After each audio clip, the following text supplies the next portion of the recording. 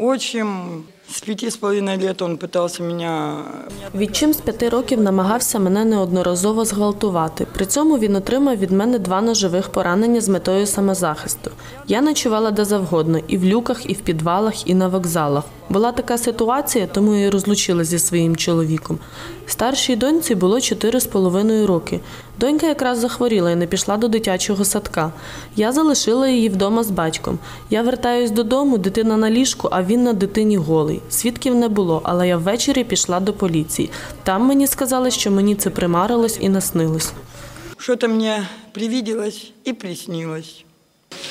Загалом до поліції Житомирщини упродовж 2018 року надійшло е, 7 тисяч, е, майже 800, 7 тисяч 800 повідомлень про е, події, які е, свідчили про домашнє насильство. У результаті до адміністративної відповідальності за вчинення домашнього насильства було притягнено 7 тисяч 774 особи. Е, У більшості це чоловіки, звісно, хоча є і жінки, є і діти. У нас люди менше знають про прояви економічного насильства.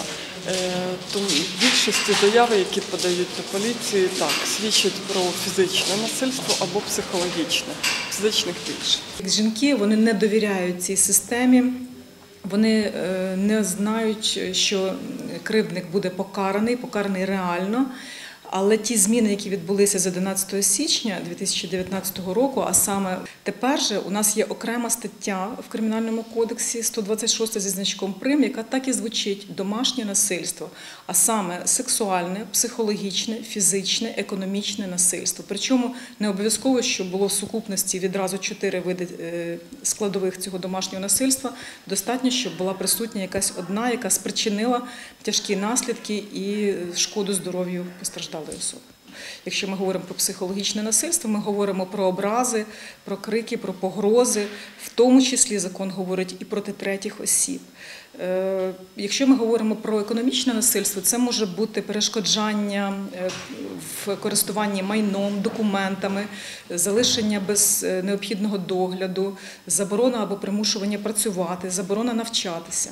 Коли бригада поліції виїжджає на місце, вони можуть винести на 10 діб терміновий заборонний припис. Жінка, яка страждає від домашнього насильства, вона може бути впевнена, що відтепер вона більш захищена і може вирватися з цього кола насильства.